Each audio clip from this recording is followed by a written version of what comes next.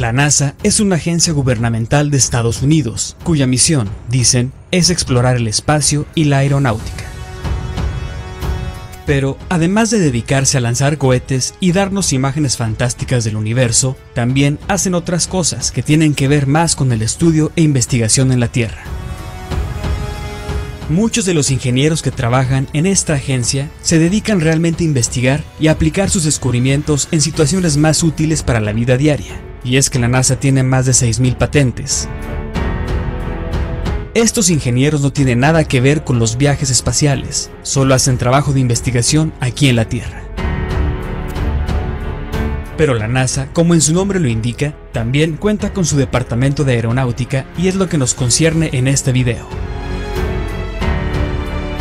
Esta agencia estadounidense tiene informes oficiales y documentos técnicos sobre esta disciplina, donde se dan a conocer resultados de cálculos e investigaciones sobre cuestiones técnicas de vuelos y aeronaves.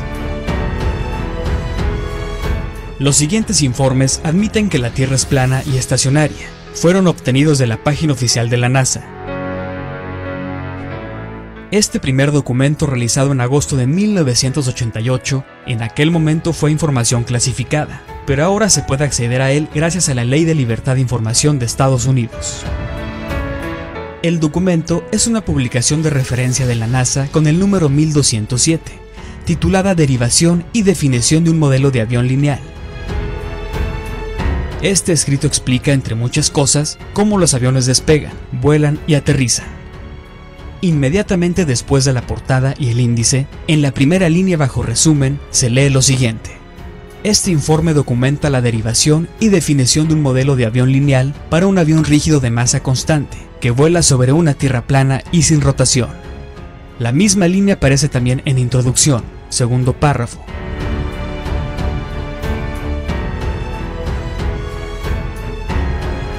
y nuevamente en observaciones finales, página 30.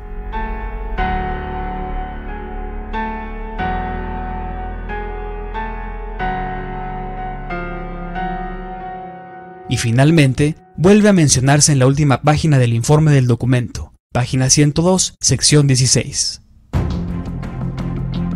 Este siguiente documento es del Instituto Americano de Aeronáutica y Astronáutica titulado Ecuaciones Generales de Movimiento para una aeronave asimétrica dañada. Página 2, sección 2, dice, en este documento se desarrollan las ecuaciones de movimiento de cuerpo rígido sobre una tierra plana no giratoria. Este otro documento es el Memorándum Técnico de la NASA 104330, titulado Rendimiento previsto de una aeronave SR-71 de empuje mejorado con una carga útil externa. En la página 8, en la sección descripción de la simulación de rendimiento digital, dice lo siguiente. Modelado de masa puntual, atmósfera no turbulenta, cero fuerzas laterales y una Tierra sin rotación. El siguiente documento es una nota técnica de la NASA titulada Un método para reducir la sensibilidad de los sistemas no lineales óptimos a la incertidumbre de los parámetros. En la página 12, en declaración del problema, inciso 2 dice, una Tierra plana y sin rotación. Esta es otra nota técnica de la NASA titulada Cálculo de la compensación del viento por el lanzamiento de cohetes no guiados. En la página numerada 7, en simulación de trayectoria, dentro del segundo párrafo, dice lo siguiente. La simulación supone un vehículo con 6 grados de libertad y simetría aerodinámica en rollo, y la posición del misil en el espacio se calcula con relación a una tierra plana no giratoria. Este es otro documento técnico de la NASA, con el número 2768, titulado Manual del usuario para linear, un programa Fortran para derivar modelos lineales de aeronaves. En la página 12, en descripción general del programa, encontramos lo siguiente. Dentro del programa, las ecuaciones de movimiento no lineales incluyen dos estados que representan una aeronave rígida que vuela en una atmósfera estacionaria sobre una tierra plana no giratoria.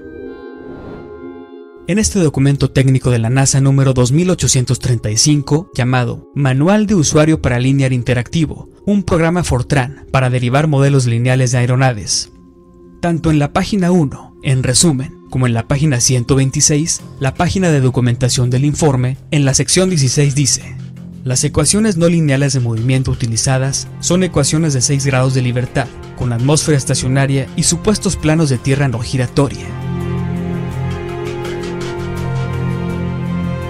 En el siguiente memorando técnico de la NASA titulado Determinación de los ángulos de ataque y deslizamiento lateral a partir de datos de radar y una plataforma estabilizada de balanceo.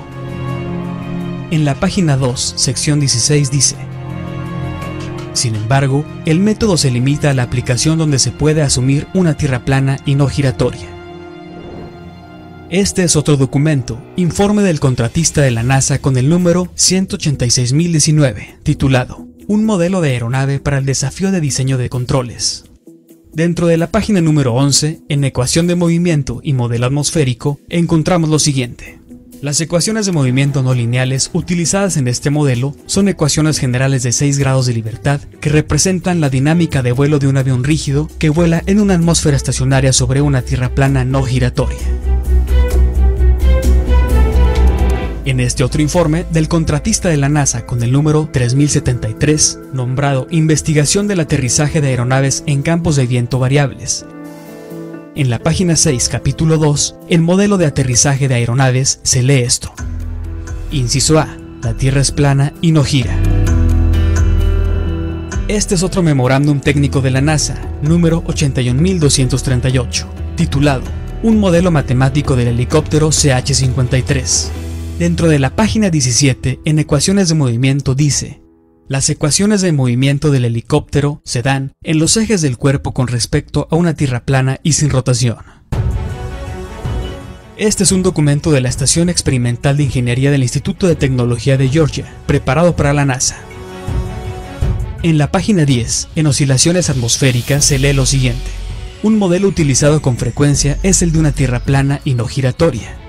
Luego en el siguiente párrafo dice, lo más que uno puede simplificar de manera rentable el problema es considerar una atmósfera isotérmica, una superficie plana y una Tierra sin rotación. El siguiente es un documento técnico de la NASA, número 2002-210.718, titulado Resultados de la prueba de vuelo de estimación de estabilidad y control para la aeronave SR-71, con experimentos montados externamente. En ecuaciones de movimiento, en las páginas 10 y 11, encontramos que dice, estas ecuaciones suponen un vehículo rígido y una tierra plana y no giratoria. Este es otro memorándum técnico de la NASA, número 100.996, titulado Prueba de vuelo de una aeronave BSTOL para identificar un modelo aerodinámico de envoltura completa. En las páginas 4 y 5, en estimación de estado dice, para problemas de aeronaves, los modelos de estado y medición juntos representan la cinemática de un cuerpo rígido para describir el movimiento sobre un plano, tierra sin rotación.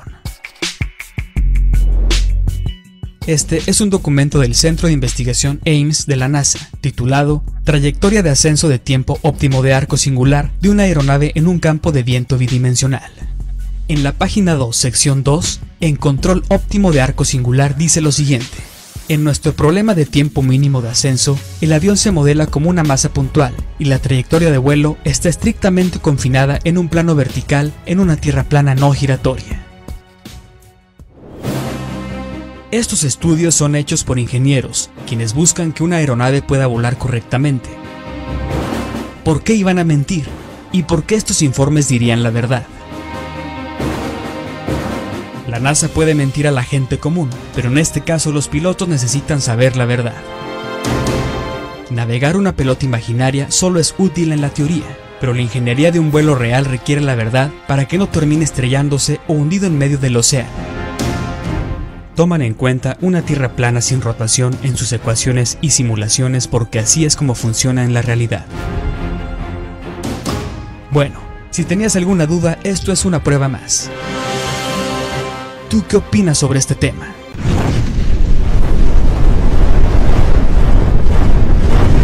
Mundo